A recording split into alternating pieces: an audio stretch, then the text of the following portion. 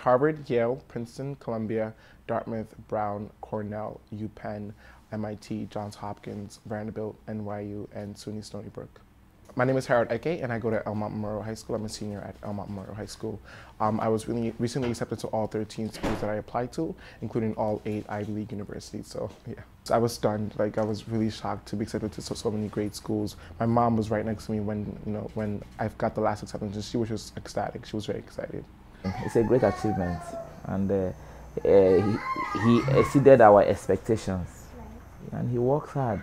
And that's the reason why we moved here in the first place you know, to give them a better education because uh, America, uh, there are so many opportunities here.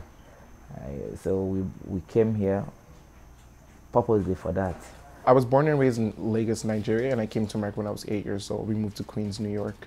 And so um, I'd say it was kind of difficult adjusting to the new environment and the new culture while also trying to hold on to my identity. But um, I saw my parents set a very tenacious example for me and my four brothers. In college, as an undergraduate, I'm going to major in biochemistry or neurobiology. And then I'd go to medical school, and then I'd go to a residency after medical school, which will specialize in neurosurgery. So my ultimate career goal is to become a neurosurgeon. I'd hope I'd inspire students to really um, achieve higher education and really apply to these great schools because there's so much to offer. Your opportunities are only limited by how hard you're, you're willing to work.